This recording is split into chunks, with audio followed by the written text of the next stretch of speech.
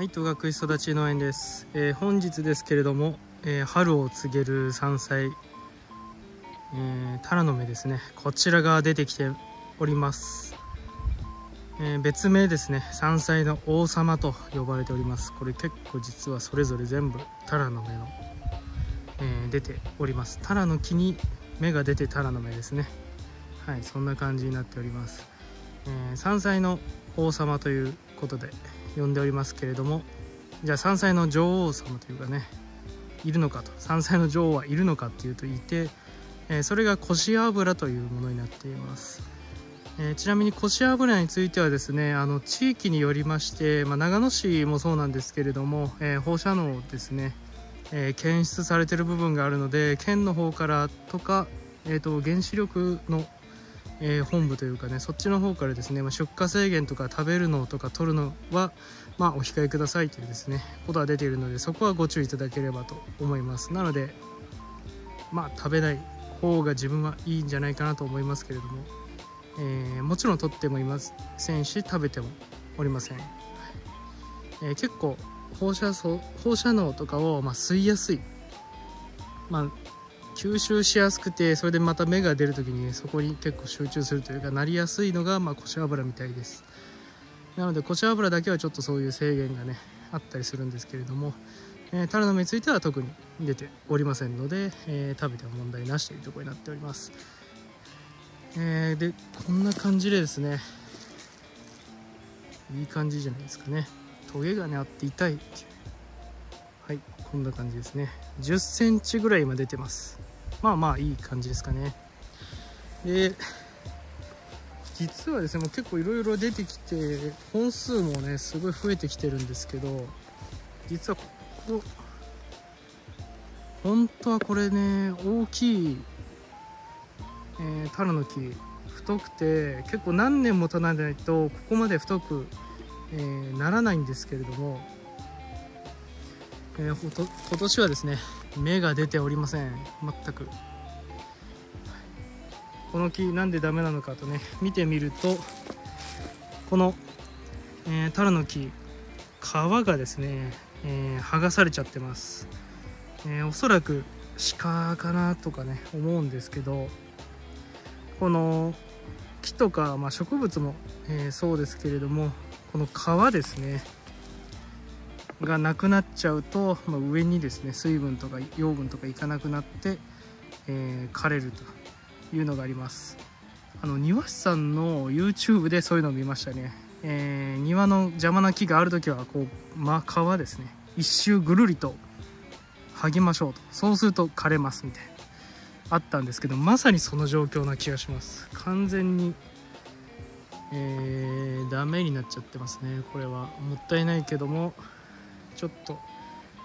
うん切るしかないか。こんなに太いのはなかなかないんで。ね。あこれもちょっと下がやられちゃってる。うん出てこないですね。ただどんどんですね他の木が、えー出てきてまして